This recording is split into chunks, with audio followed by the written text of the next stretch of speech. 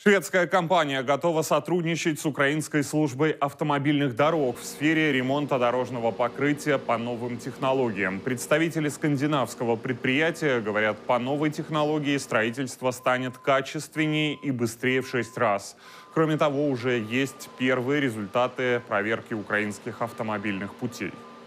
Результат показывает, что там недостаток, материалы неправильно сделаны и мало масла. Насчет камня в некоторых местах показано, что камня много, а в некоторых, что мало. В результате асфальт, дорога имеет плохую связку.